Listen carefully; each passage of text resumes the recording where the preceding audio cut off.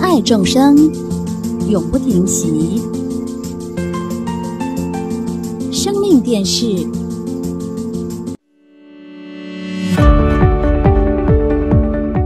接下来请收看长老法语。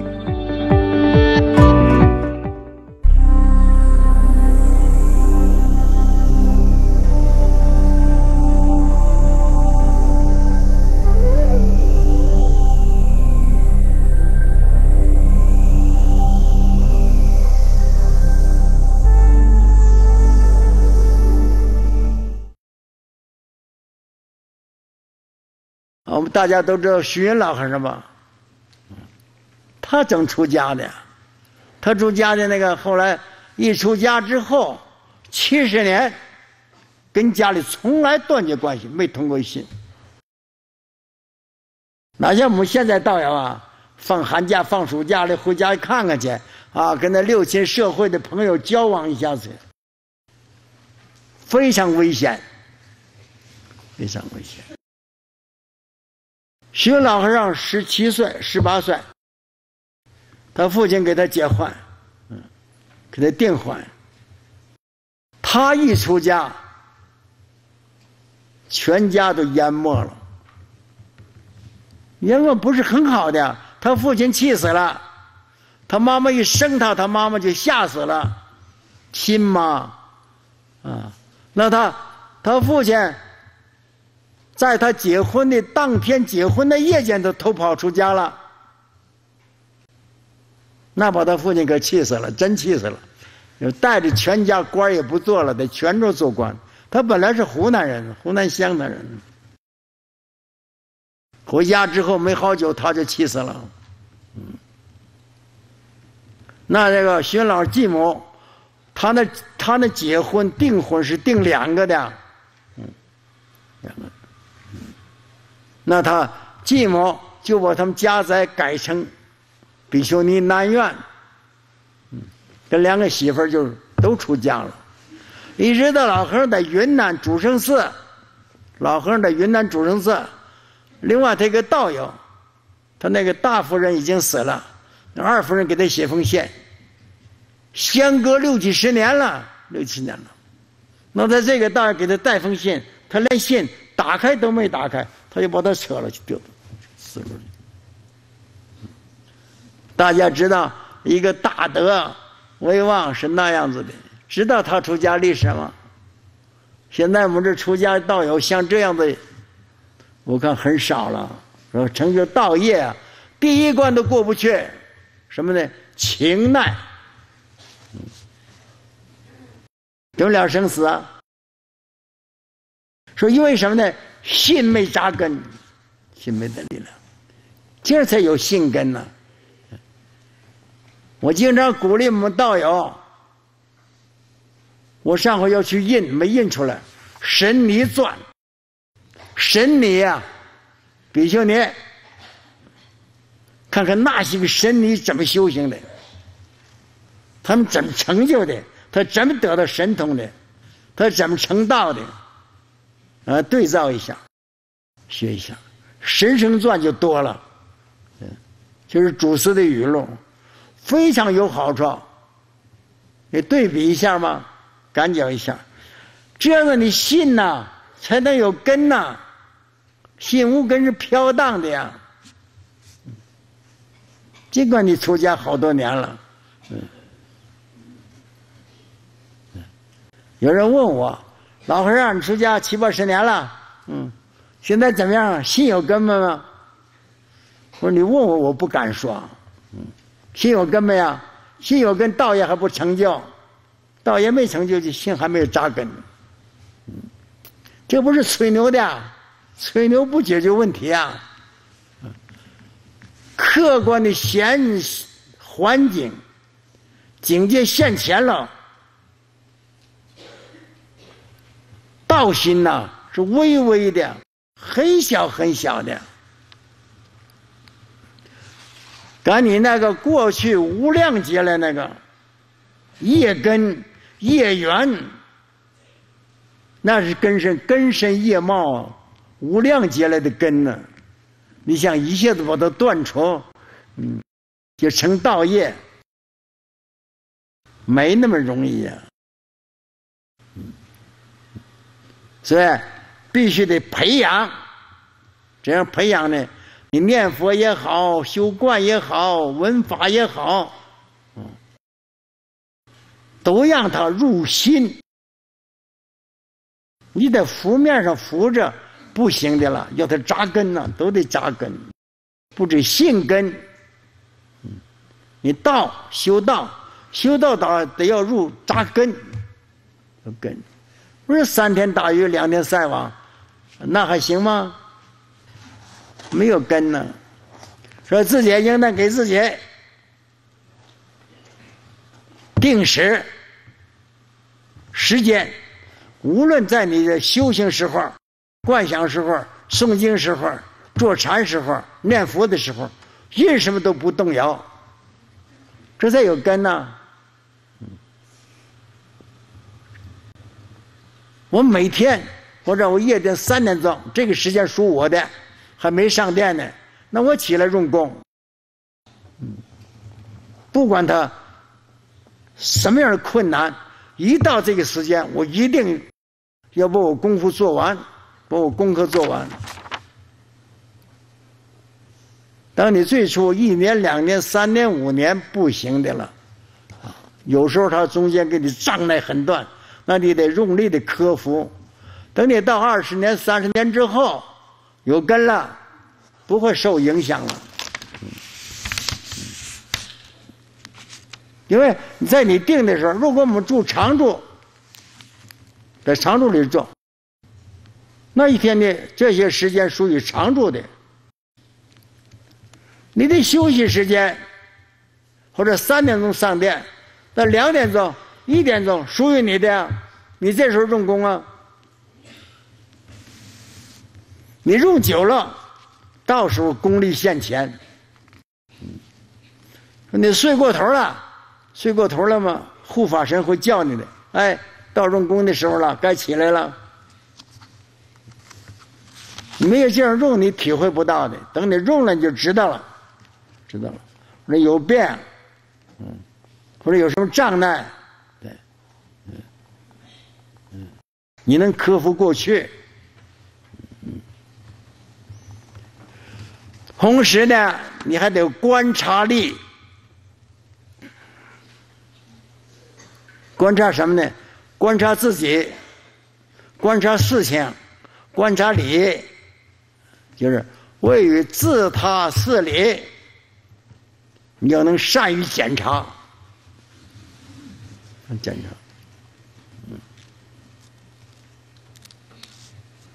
这都是发菩提心想成佛的啊！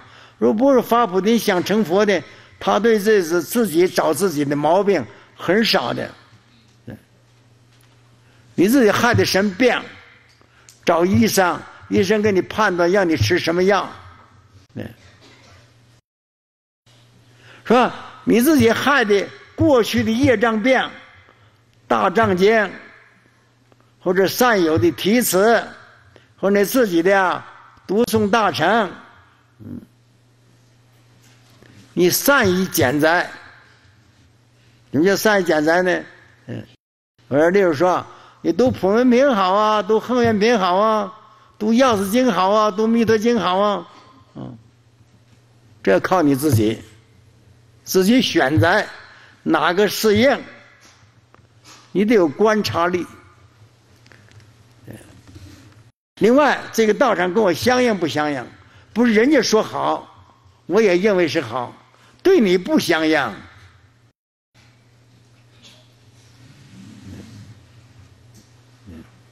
你选择对你相应的，啊，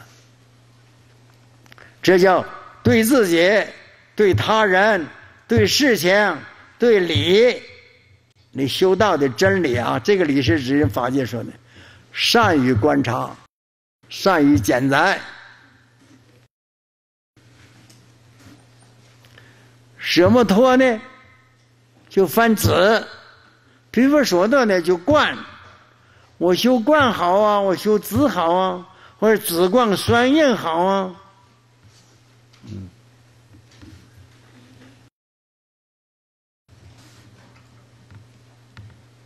这个就靠你自己选择了。舍不得子就修定，修定，嗯，毗婆舍那就修观。本来是观就能使你定，因为定了发了智慧，才能修观。说你的心跟佛所教导的理相合了，你的心里常是寂静。现在，大家不要把这个定说这坐这儿了，嗯，什么也不动了，这叫习定。《华严经》讲的定不是这样的，就在事上头，你劳动也好，学经也好，这都是事啊。说大家共同活动也好，这是事，事必具理。在你做任何事时候，你在定中做的，做什么事，专注意境，全心全意都在这个事上。念阿弥陀佛，这是事啊。我的心全注重在阿弥陀佛。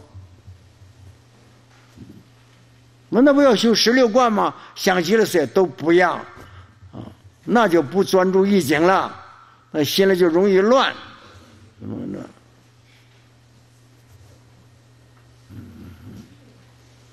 舍不得就是子，只有专注意境。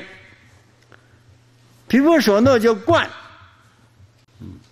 那观的道理就多了，观的道理就多了。事和理合，说这个事情啊。本来就具足理，把一切散乱摄摄持到一处，这就叫子啊，这定啊。就是说，现在大家来听经、来学经，是观呢，是子啊。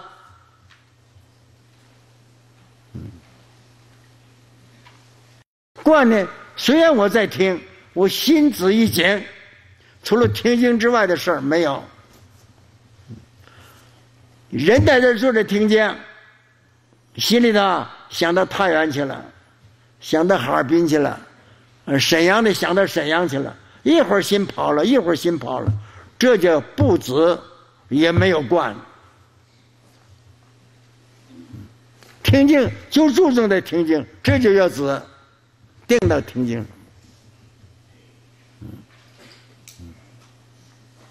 在听上句话下句话，一会儿说这么个道理，一会儿说那么个道理，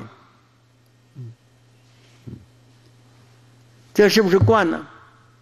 这就照，照，嗯，你不散乱，摄心一处，听经就是听经，这就是观，听经是关照，心呢？心无杂乱，注重在听经上头，这叫子观双愿。子即是观，观即是子。子是记了，记了。听与记，也子与记，子与记，而不去观事了，子与记，容易昏沉，记记的睡着了，好多打坐的。你看那腰杆也驼了，嗯，心里头啊，一干什么就睡觉，嗯，若有昏沉，这不是技能，子呢属于定，定，定呢，他一定得清清楚楚、明明白白了了。你参参的，我念佛是谁？念佛是谁？这个，也就就是关照了。关照使我这个心呐，不二念。这叫子了。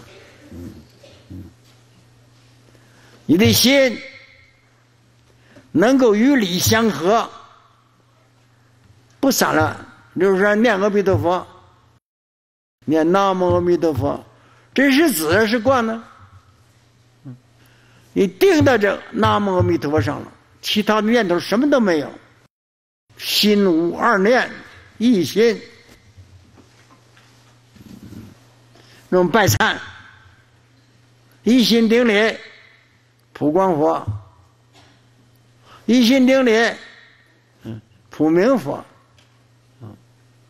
但是你这个心，这两个点呢，是观呢，是理啊，是子啊，是观呢？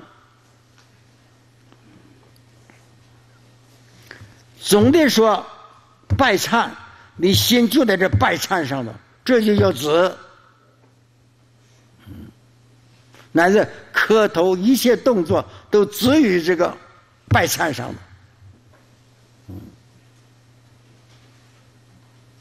有没有观呢？关照你这个心呐，不让它走了念。没有第二念，这就是惯了。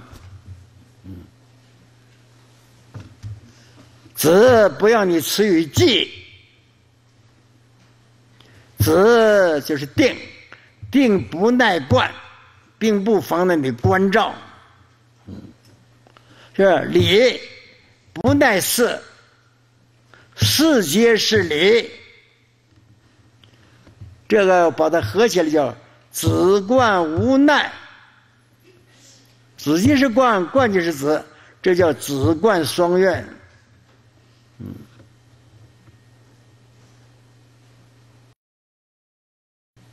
当你修真空觉相观的时候，就是学空观的时候，纯理，一切事都停止了，用理来夺色。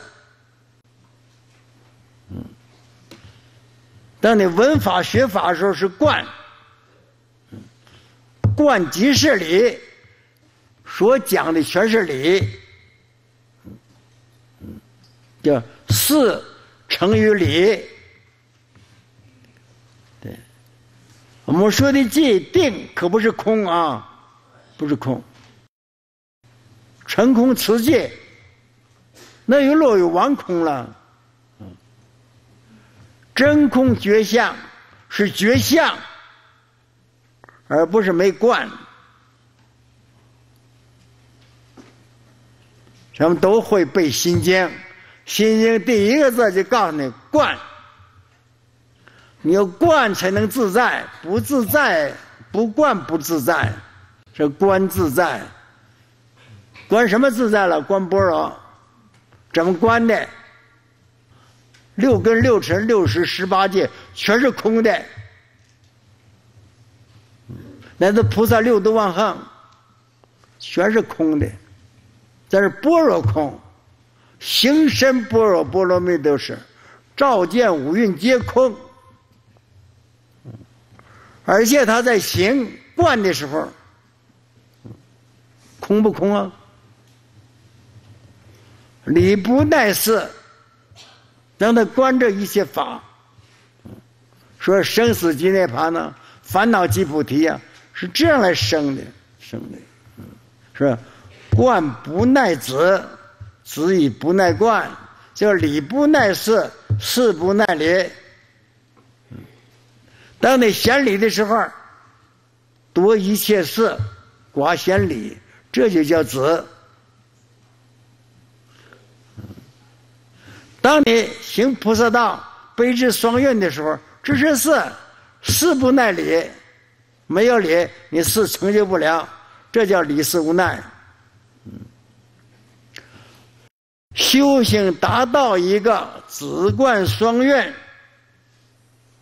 就是一心法，照观是观照，照也是心，子也是心。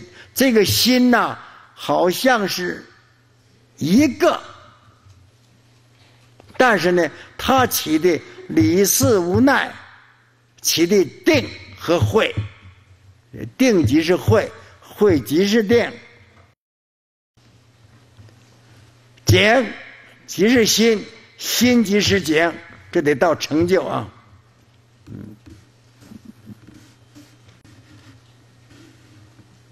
不坏一真法界，而一真法界所含藏的理和事，两个是不同的，理是理，事是事。但是理也是一心，事也是一心，理事无奈，还归于心。那就是你所做的事，事即是理。诸佛菩萨行的，度一切众生，不见众生相，道理就在这儿。《金刚经》说：“无我相，无人相，无众生相。”但是他还要度众生，度众生时候，我相、人相、众生相，四相蜿蜒。这是真正的修道的，达到了上乘功夫了，上乘功夫了。就是。只观双运，事理无奈。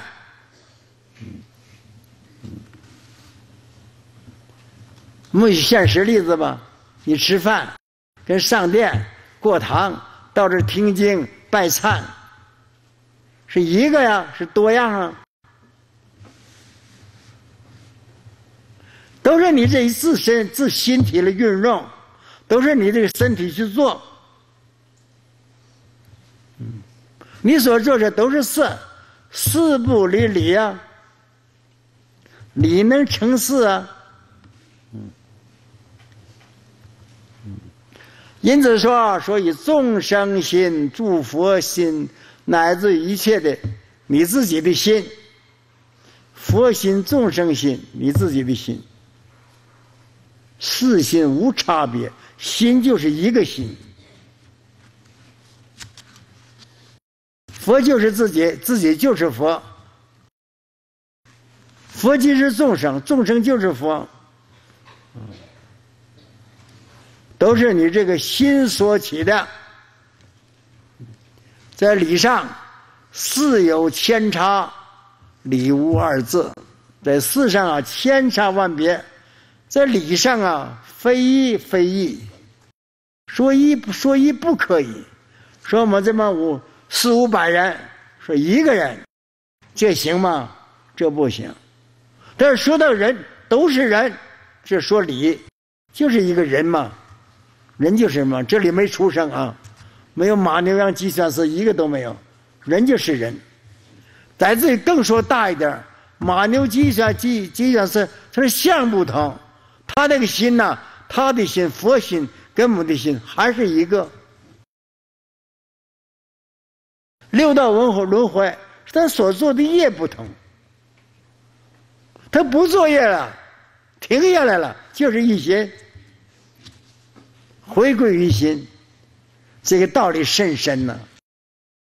所以佛经所说的就这么一个理，你是一个，嗯嗯。等你心静下来，心入虚空，这儿说神通，神通啊。神就是自然的心，通呢无障碍了，无障碍了，回归于心，心境合一了，这叫神通。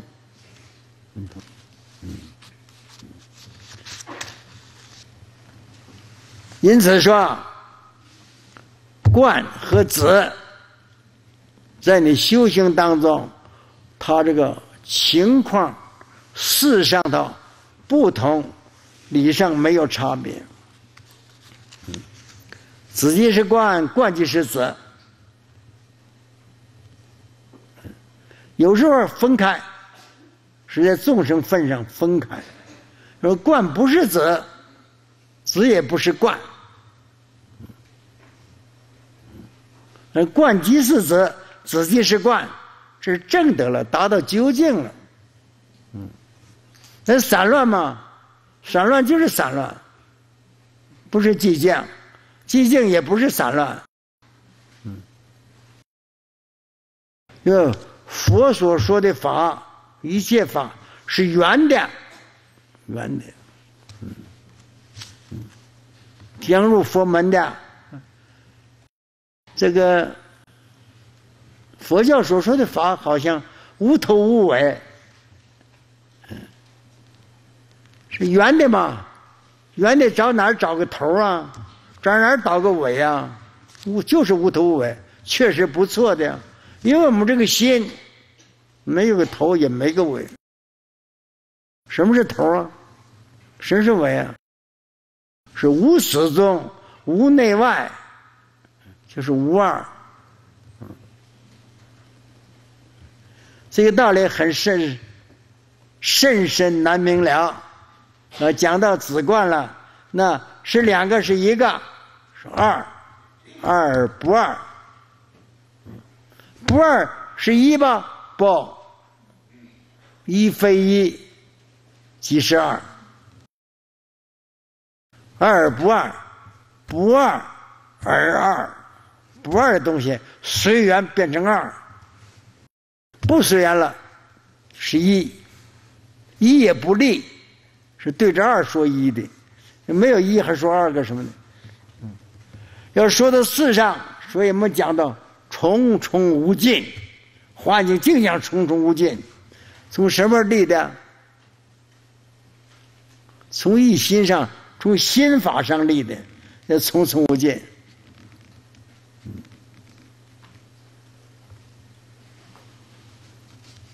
但是普观一切，普观一切呢？普观一切能观的是义，普观一切的也是义。没有那一切就没有这个义，一切没有了，义也没有了。义是对着一切说的，因为有一切才说义，因为说义才说有一切，一一切都不利。这才究竟成佛。嗯，因为我们以智慧为主，智慧为主，顿照一些法门，环境都讲顿照的。嗯，就是法华经也是这样讲的，四教也是这样的，一念三千，一念就记住三千大千世界，三千还归一念，一念也没有。一念对着三千说的，没有三千大千世界，也没有说一念。嗯，嗯，这叫在我们讲十玄门时候，后头要讲的叫主伴圆融。嗯，说这一切法都是伴，伴必回归于主。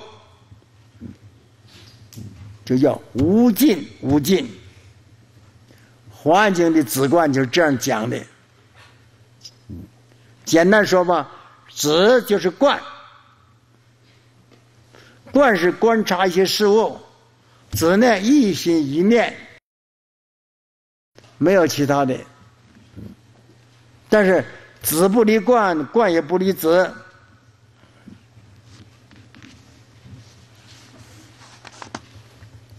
但是这里有个思维观察，前头讲个观察嘛，第七是观察嘛，嗯，观察。观察就是思维，咱们修的观，观是什么？就是思维啊！思维什么？就是你想啊，嗯，说你想什么？想就是筹量啊，关照就是筹量。说这个事儿啊，我该做呀，不该做呀，这叫筹量。这个筹量生于什么？生于你自心，这叫慧解，就方便。嗯嗯，这一点我可能说多一点啊。大家对这个子和冠呢，恐怕还不怎么明了。嗯，对，就是说你静下来的时候，跟你动作的时候。你动作就是你静下来的时候，静下来时候就是你的动作，两个合一。我们简单说，例如说，我们现在我们分工不同啊，有的去劳动，有的上上那课，嗯，就是我们普陀寺的人吧，嗯，没有全来听经。因为他有他的工作，他有他的工作，这叫分工的不同，分工的不同，嗯，好像各做各的事儿。但是每个人，每个道友，你所做任何事儿，你要发愿，要回向，等你所做任何事物，你三个是不能离开的：一个发愿，一个忏悔，一个回向。如果你离开这个三个了，你没入道。身虽出家而心不入道，身体是出家人，你心里头跟出道不沾边儿。我在课堂工作，我看见那么有的小师傅在那挖土。现在我们这边上课听见，这是一个呀，是多个呀？从事上讲是多个，从理上讲是一个。愿是一，不管他做什么，我发愿要成佛，我做的是三宝事。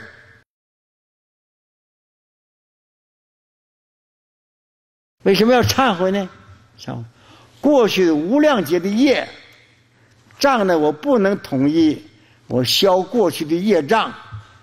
同时也对众生忏悔，愿众生的业障消失了，佛道就成就了。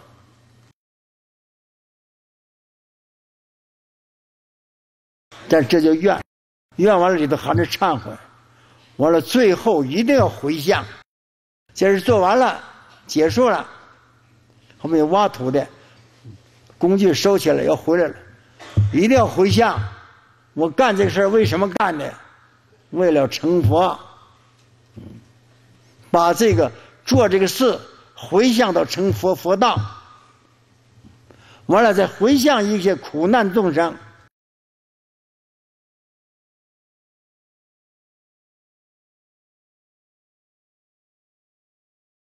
这个这个关于这个问题啊，我说了很多很多，就是希望大家你干一举一一念。做任何动作，做任何事不管事情大小，这三个一定要加进去，一定要发愿、忏悔、回向，把你所做任何事情都认为是佛事，都认为是三宝事儿。我们是佛弟子嘛，我们在家两做你三宝弟子嘛，说我在社会上打工。打工也是三宝事儿，你把它回向，回向到三宝。我做这个事儿啊，利益众生，上求佛道，下利众生。做错了的嘛，我忏悔。那你别贪污啊，贪污的忏悔也不行，那法律要制裁你。因此啊，就善用其心。咱们很快就讲到了，文殊菩萨一答就答复你，善用其心。你得会用心，但是这里头还有个善巧，云何得运善巧、借善巧、处善巧、缘起善巧、欲界善巧、色界善巧、无色界善巧、过去三巧、未来三巧、现在三巧，就是三世善巧。什么叫善巧呢？巧把陈老做佛事，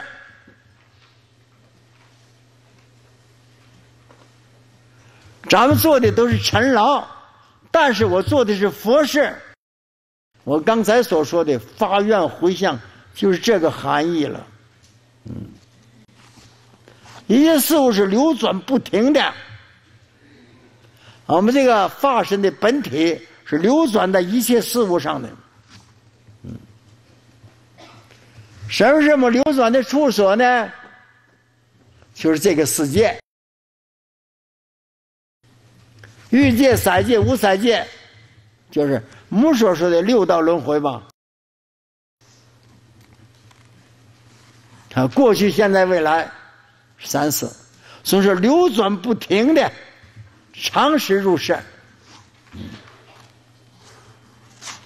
这流转所有的东西啊。你要观察哟，你要善巧的观察，观啥呢？空无所有，什么都没有。哎，你在那流转当中，可是事实啊。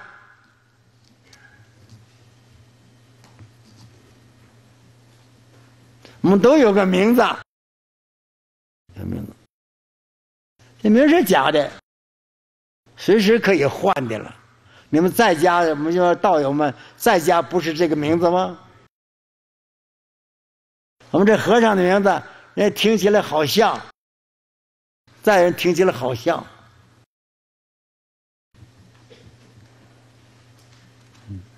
但是这个名字是假的，可以换的了，随时可以改的了。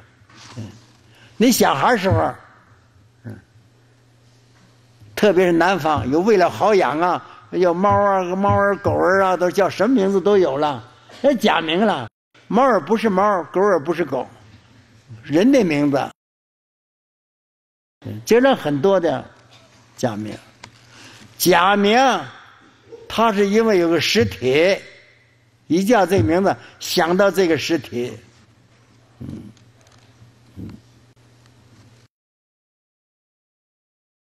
但是呢，你怎么样在其中起到善巧？在三界三世互相流转这个时候，流转时候，嗯，嗯，善巧就知道这些东西是假的。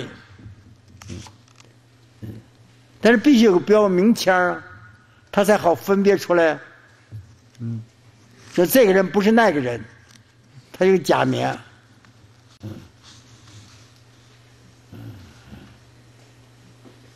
这叫什么呢？这叫是善巧者，你善知一切诸法无实性，没有实体，这叫善巧，空的，假的，不是真实的。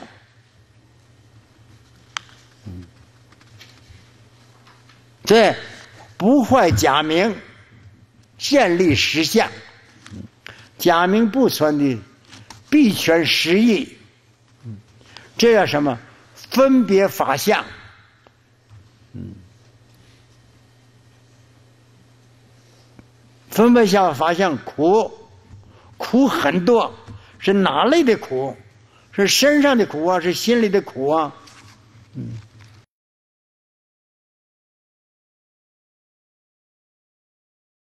你知道了，善巧之道，一切事物都是虚假的、空的。但是随缘呢，一切众生不能空啊。嗯。而另外我们说，说修假观，假观，假的。但是当你苦逼迫来时候，你假观没修成。你假不了了，痛还是真的了。当你烦恼时候，你能不能把它善巧观察？这是假的。那痛苦在什么地方？建立在什么地方？空的呀，空里头没有痛苦。从你观你肉体，肉体是空的呀，空的怎么有痛苦？痛苦也是假的，假的之中又生假的。云何得运善巧？就是五蕴，色受想行识，这五蕴法，五蕴法是没有的，假名难立。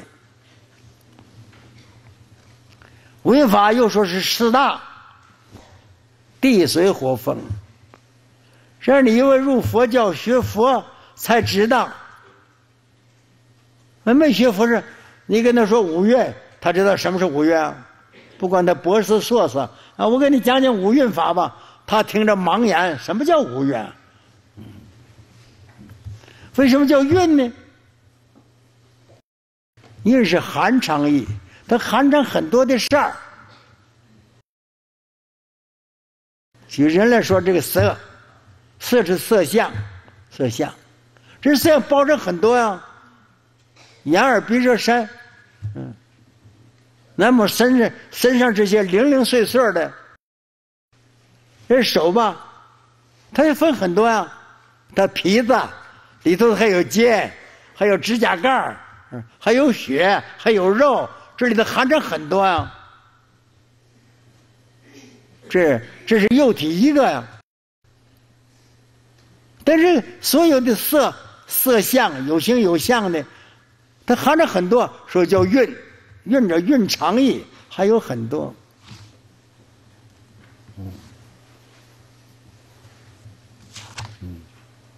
戒呢，这个戒三讲呢，十八戒，六根，眼耳鼻舌身，意，六根，根而生出十，十是了别意，眼是耳是鼻是舌是身是意识，完了又对着外边的境界相，嗯，色声香味触发，这叫十八界。说你怎么理解十八界？怎么认识十八界？你怎安排十八界，只要三桥。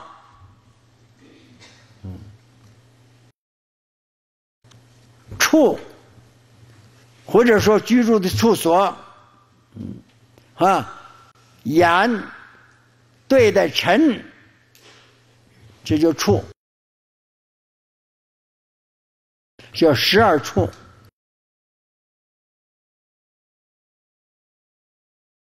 缘起，这就不这个复杂了，非常复杂。什么缘生起什么法？缘是铸成的，这一法的生长当中必须加缘铸成，没有缘生不了。缘生诸法，诸法因缘生。我说即是空，佛说的，是缘起的，没有真实的。加因缘而起的，嗯，完了底下就分开来说。现在是总说欲界三角、三界三角、无三界三角，这三界，欲界诸天、三界诸天、无三界诸天，嗯，完了还有过去、未来、现在，这叫三色。过去已经过去了，没有了，咱们能忘记过去吗？现在人摆呃闲谈时候一摆呃我过去怎么样怎么样，特别像我们这老头子，嗯，人家说好汉不提当年勇啊，啊当年我怎么样这你怎么样没有了，什么都没有了。嗯，当我十六岁到孤山，呃华严学院，同学的老师现在一个也没有了，那都过去了，不行。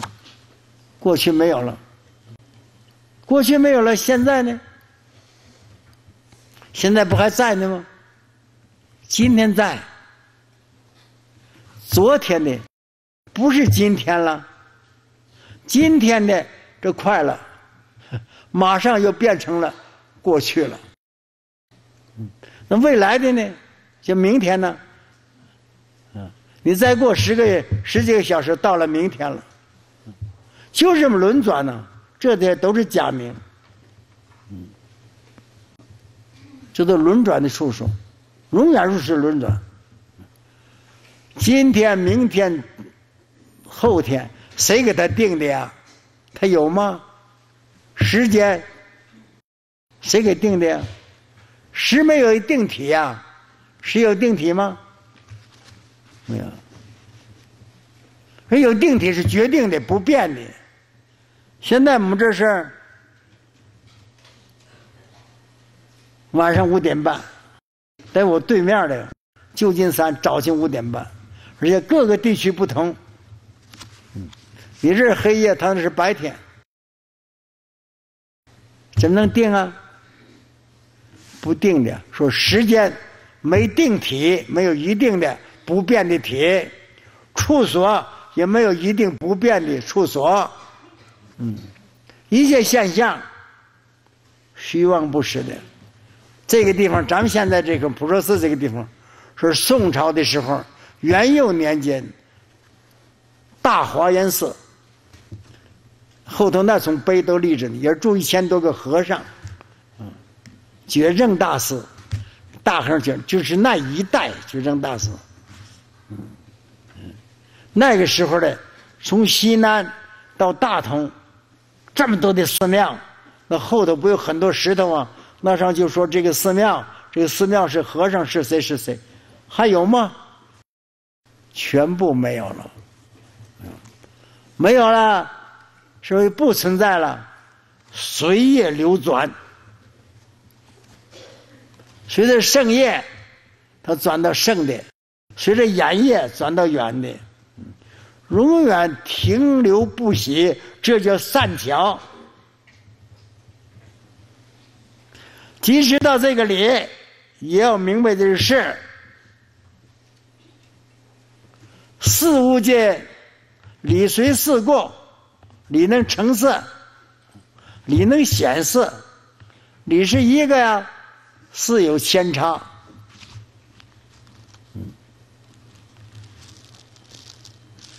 那我们佛教讲一真法界，讲真心，讲这分析。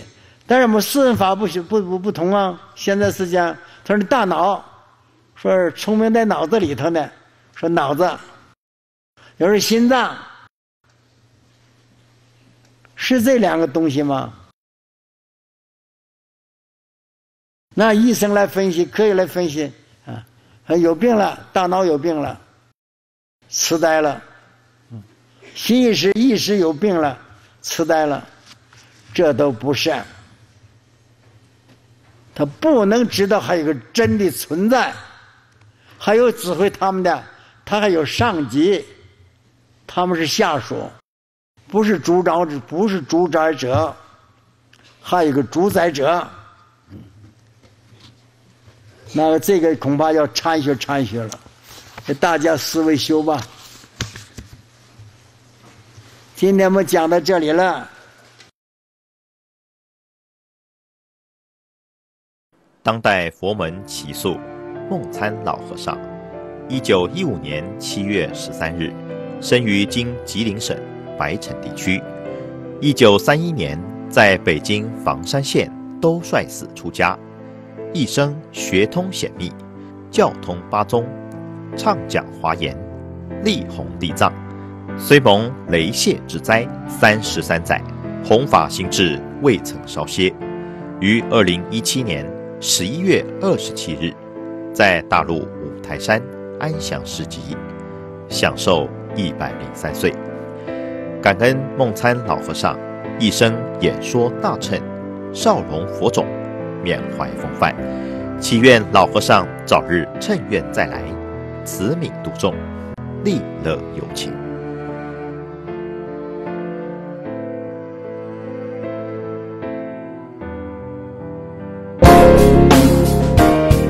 认识中华护生协会，秉持佛陀无缘大慈、同体大悲以及众生平等、慈悲相待理念，慈悲置业于二零零二年成立了中华护生协会，以倡导救护一切众生。尤其时代环境变迁，放生一定要配合政府所宣导的保护生态环境。以及物种生存条件等各方配套措施，在放生更要护命的宗旨下，护生协会这几年都采用筹建护生园区的方式来拯救生命，以安养物命的方式来推广、来救护生命。目前，护生园区于宜兰共有四处园区，新北有一处园区，于云嘉南地区有十处。高平地区六处，金门设有一处。护生协会在众生平等、慈悲相待的理念下，所推广的会务有：一、不定期举办各类护生救生活动，以教化世人尊重生命、爱护生命；二、认养清寒学童的活动，筹集清寒子弟助学专款项目。以及提供海外僧节医护经费，带国外僧众寻找护持功德主等行动。三、国内外急难救助以及应生未生胎儿的免费超度登记。四、协助佛教慈悲置业基金会二零二一年结下的防疫共僧包发放等。只要是护持众生、利益众生的善行。都是护生协会所努力的方向。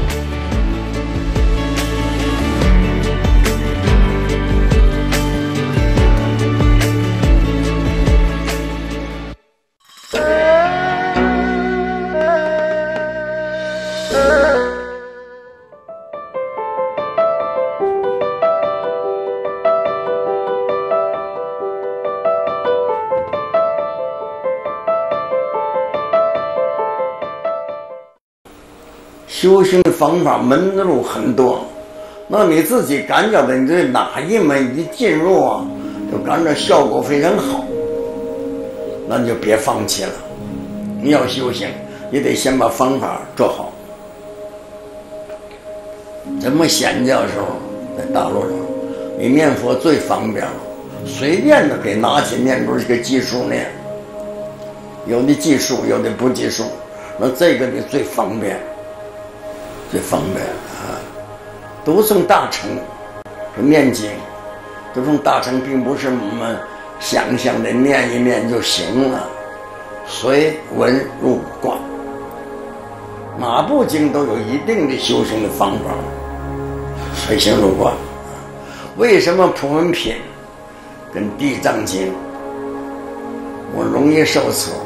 他你只要念名号，只要念这个经，得到菩萨加持。就是他呀，方便利于普通的一切能修行的，要求的并不高。读诵大乘，随便你读哪一部经啊，你尝试读，为什么要读那么长的时间呢？就是你心呐，跟经上所教授、所教导你的方法合一了，你读大乘才能有效，读大乘经才有效。如果你只是念文字，你得不到它实际利益。说我们有病，或者有什么灾难性，求佛菩萨加持，要回向，一定会。你产生力度没有？这个产生力度啊，力度就是效果呀。你自己回想也好，给人家回好。如果你有病了，消灾免难，你自己定期，或者是你身身体还能恢复健康，那你就得你的功夫用的能够把你所念经的含义。能用到你的身上转化，这个大家都会实验得到的啊！脑壳痛的很厉害，一念观世菩萨，念念做做，一进去念，念起来好了，不痛了，这叫产生效果。如果没这个效果呢，说你这个经念的功夫不够，还不灵。念阿弥陀佛，你检验检验功功德的功力。你心里很烦恼，你是坐下一念，烦恼没有了，那脏事儿就像灭了，消灭了一样。我再来再念，一念就没有了。不，这是你修行，你检验你的效果如何？这是检验的方法啊！念经、修观、习禅、念佛，你自己都可以考验你自己功力到什么程度。有些个一点小小的，你能够用得到，大了呢，你还能转化得到吗？就像如果你在灾难当中，你这时候你心在什么地方？就你想什么东西？这个我是有经验的，恐怕大家没这个经验啊，大家恐怕是。住几十年监狱的还没有啊，在你那个困难的关时节，就是你啊，生老病死当中，在你生命紧要的关头，那你所学的佛法学了十年二十年，你就拿来用吧，就是对待的这些个的呢，生老病死苦啊。你能用得上，那你就真正的学佛学道了。如果如不上不相干，那你还得用功夫。如果你用的有三十年功夫，就是谁找你回向，效果非常美，你给他回向一作意，他那边就好，信吗？可是少时间不行，因为你的自己功力还没够，所以修行啊。把那下头那个字“行”，“行”是运动音，把它改了。修行就是修心，就是你心的心力到什么地方，你力量能到什么地方？这个道理呀、大家得用功，用到你用到三年五载，效果不太大，起码十年以上。如果你的功力用到二十年、三十年，它效果产生了，它产生了。但是一般的看的是做不到的。但是你一加持一用功，你的功力到了，它就变化。那你自己也会感觉功是到什么程度。或者在做梦，梦中这人我跟人打架，但是你在这个在梦中时候，不是醒的时候，在你要跟人打架，你从想，呃，我是出家人，或者我是佛弟子，我们跟打架，我原谅别人，我过去欠他还报。你在梦中有这种境界，你功夫就到了。在这几种境界现前时候。你能在这个境界现前时候，当时力能止住，感到能达到不发，心里就没有这个嗔恨心了，不不，那功夫更深了，那是菩萨境界。那现在我们最初修行，总的来说，第一个建立啊，必须有信心。我这样说，大家可能有些个。怀疑，我都我信三宝，皈依佛，我都出家了，我这我都受了戒了，修了好多年了，那不见得你有修行。因为什么呢？当年你醒的时候，能做得主，能做得到；你梦中就做不得主。你梦中能做得主，到你生命啊尽的时候现钱了，你做不了主了。这个大家还过重病的就可以考验，当你病重的时候，你做不了主了。或者病了一个月、两个月还勉强，那三个月以上病了，你做不了主了。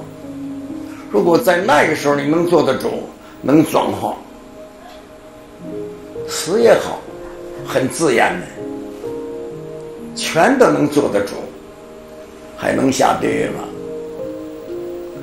还能堕三途吗？这绝对绝对不会的。这是正智力，就是自己修行力量。还有一种他力，念佛的要占佛力加持。说我们地藏王菩萨，地藏王菩萨加持；你念观音菩萨，观音菩萨加持。但是你得给他通了啊！你写信，他能收得到啊？如果是他收不到你这个信号，啊，不灵，因为你还没达到这种功力，达到这种的号，你遇遇有任何困难，一念地藏菩萨，地藏菩萨那边马上就给你给你解决了，一念观音给你解决了，真的假的？那不灵就是假的，灵了就是真的。但就说灵了，就是那功夫做够了。今天灵了，明天不灵了，后天又灵了，大后天又不灵了，那就是因为功力不够，不能相信。那功力六了，一贯都是灵的，效果就如是。